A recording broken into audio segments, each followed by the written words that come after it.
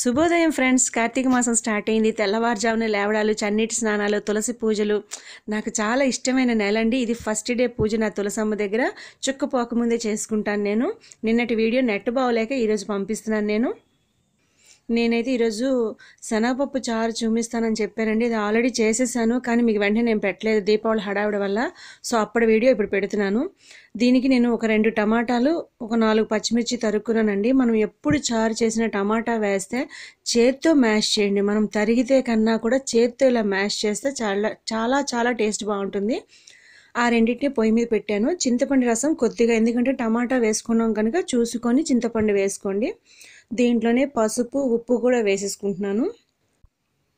బొబ్బట్లు బూర్లు శనగపప్పు చేసుకున్నప్పుడు ఆ వాటర్ దాచుకుంటే చాలా టేస్టీగా ఉంటుందండి. ఉత్తప్పుడు కూడా ఎప్పుడైనా చేసుకోవచ్చు.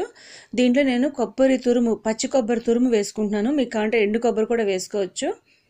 దీంట్లో బెల్లం వేస్తానండి. నేను పులుసుల్లో చారులో ఖచ్చితంగా బెల్లం వేస్తాను. కరివేపాకు కూడా వేసుకుంటున్నాను.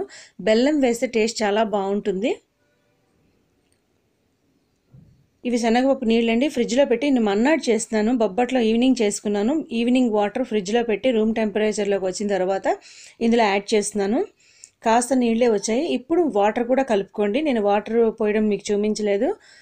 అంటే ఈ పులుపు చూసుకొని చింతపండు టమాటాలు ఈ శనగపప్పు నీళ్ళు చూసుకుని వాటర్ కలుపుకోండి. దీంట్లోని కాస్త మిరియాలు జీలకర్ర లైట్గా క్రష్ చేసి వేస్తే చాలా బాగుంటాయి. వేయించక్కర్లేదండి పచ్చివే క్రష్ చేసి వేస్తే ఒక రకమైన టేస్ట్ ప్లస్ ఇప్పుడు మిరియాలు వాడడం ఎక్కువ చేసుకోండి. ఈ జలుబులు కఫాలు తగ్గుతాయి అన్నమాట చలికాలం వచ్చింది కనుక. నేను వాటర్ కూడా యాడ్ చేసుకున్నానండి. ఇది మరిగిన తర్వాత లాస్ట్లో కొత్తిమీర వేసి మూత పెట్టి స్టవ్ కట్టేసి మనం పోపు పెట్టుకోవడం వినండి. మీరందరూ కార్తీక మాసం చేసుకుంటున్నారా?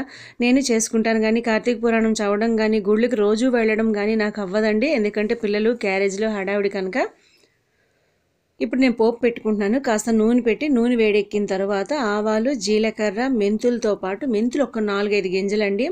ఖచ్చితంగా చారు అనేటప్పుడు నేను వాము పోపు పెట్టుకుంటానండి. అది చాలా మంచిది మనకి. గ్యాస్ ఫామ్ కాకుండా ఉంటుంది. డైజెషన్కి మంచిది.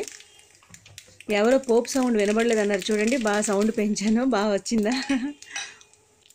ఎండు మిరపకాయలు ఒక రెండు వేసుకుంటున్నానండి చిన్న చిన్నవి. ఇది కూడా వేగిపోయిన తర్వాత కాస్త ఇంగు వేసి ఈ పోపుని ఆ చారులో కలిపేయటమేని ఇది చాలా బాగుంటుంది. మీరు అబ్జర్వ్ చేస్తే ఇందులో కందిపప్పు పెసరపప్పు ఏది వేయలేదు. కానీ శనగపప్పు నీళ్ళతోటే ఎంత టేస్టీగా ఉంటుందో అని తప్పకుండా మీరు ఇది ట్రై చేయండి. పోపు వేడి మీదే చారులో కానీ సాంబార్లో కానీ వేస్తే వచ్చే వాసన ఆ సౌండ్ చాలా ఇష్టం అండి నాకు. ఆ ఇంగు కూడా మంచి వాసన వస్తుంది. అయిపోయింది మన చారు రెడీ అయిపోయింది. ఇది తప్పకుండా మీరు ట్రై చేయండి మీ ఫ్రెండ్స్కి షేర్ చేయండి.